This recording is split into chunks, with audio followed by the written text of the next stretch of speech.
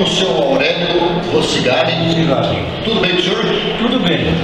Senhor Aurélio, que idade está hoje? Sete e quatro. Bem vivido. Bem vivido. Muito trabalho, né? Muito trabalho. O senhor foi um eletricista ainda, talvez, ainda faz algum trabalho, né? Ainda dentro dessa área. Não, Quantos- não, não, eu parei, funcionando. Está aposentado mesmo.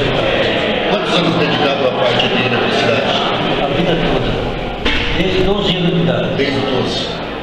O senhor fez algum curso ou foi assim, auferindo conhecimento durante a vida? Conhecimento. Sempre acompanhando a profissão. Sim. E o trabalho do senhor estava mais restrito às casas, Indústria. indústrias. Trabalhou em que indústria da cidade? A cidade, o Macomeiro e diversas indústrias fora também. Fumo da construção civil também. Sim.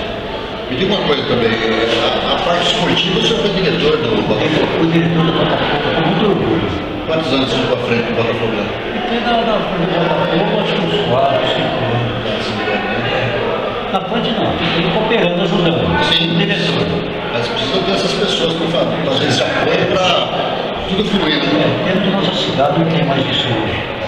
É, Infelizmente, né? Você vê a cidade quando ela tinha um número menor de pessoas, um recurso financeiro na época difícil, né? É, Existia times amadores, vários campeonatos, né?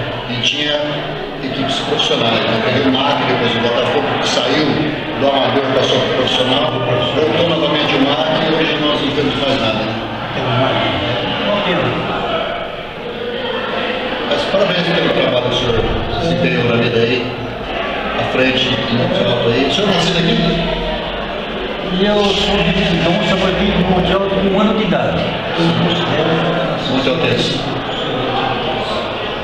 Eu falei que sou o Aurélio do Cigabe, uma pessoa maravilhosa, uma pessoa simples, uma pessoa humilde e que tem uma bagagem de muito trabalho, de muito esforço e de muita dedicação.